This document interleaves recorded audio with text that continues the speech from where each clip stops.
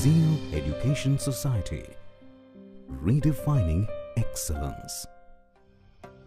Myself, Sagar Reis. Myself, Pratiksha More. Myself, Jigar Sabri. And my name is Vaishnavi Hapse. We are from first year A division and our department is Information Technology. We are studying at Zeal College of Engineering and Research Pune. Our project is guided by Professor Sneha ma'am. Our project is spelling corrector using Python. And we are doing this project under the project based learning activity. The core idea of project based learning activity is that the real world problems captured by students' interest and provoke their serious thinking as students acquire and apply new knowledge in problem solving context. So let's see how the project works.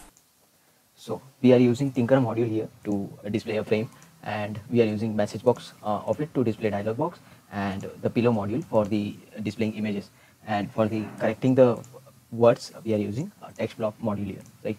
And we are using different functions here. So uh, this is the correct word function which will correct the word using the TextBlob.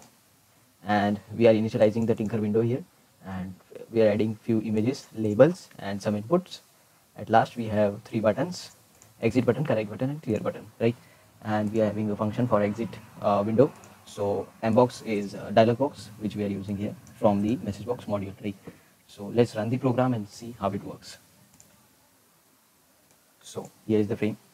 So as I enter the word let's say mistake and let's correct it. So here is the corrected word right? So let's clear it.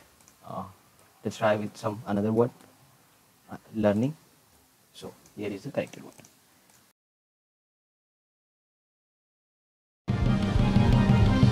Zeal Education Society.